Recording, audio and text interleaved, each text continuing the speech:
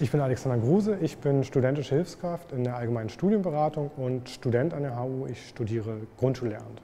Studenten kommen zu uns mit den unterschiedlichsten Anfragen und wir versuchen da irgendwie ein wenig ähm, Ordnung ins Chaos zu bringen und die Leute zu versorgen, weiterzuleiten an die richtigen Stellen. Was ich jetzigen Erstsemester mit auf den Weg geben würde, wäre erstmal keine Panik.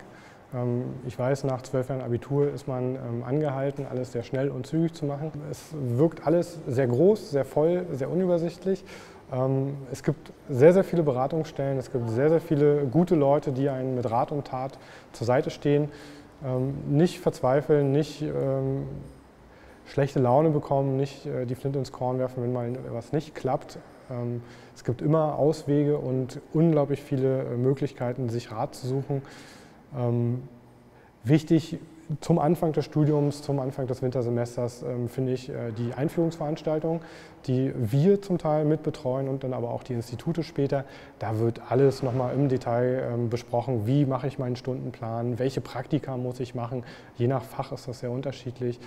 Da tun sich sehr, sehr viele Fragen auf und wir versuchen da größtmöglich den Studenten zu helfen.